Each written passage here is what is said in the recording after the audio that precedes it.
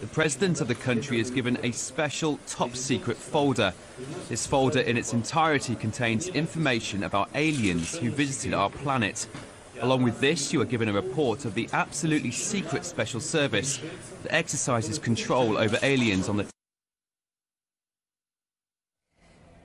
Well, let's leave that there because I believe we can now go to Paul Harrison, our royal correspondent, who, of course, is outside the King Edward VII Hospital where the Duchess of Cambridge was being treated.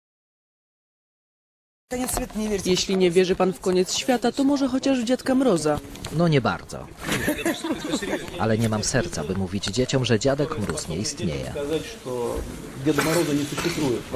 Każdy prezydent dostaje teczkę z napisem ściśle tajne. Są tam informacje o obcych, którzy odwiedzili naszą planetę.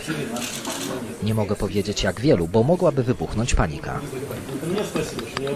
Powinniście mi dziękować, że skończyłem zgodnie z planem. Mógłbym mówić więcej. Wiecznie.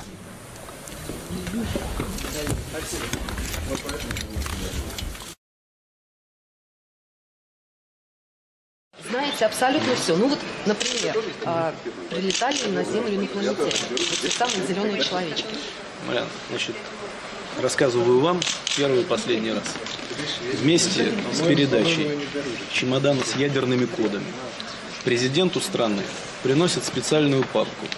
На ней написано «Совершенно секретно».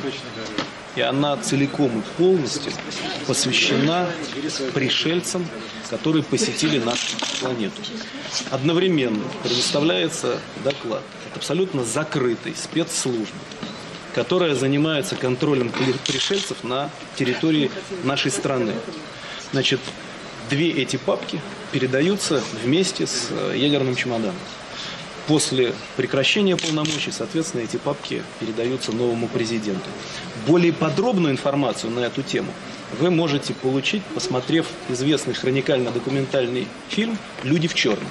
Вышло несколько версий. Сколько их среди нас? Сколько их среди нас, рассказывать не буду, потому что это может вызвать панику.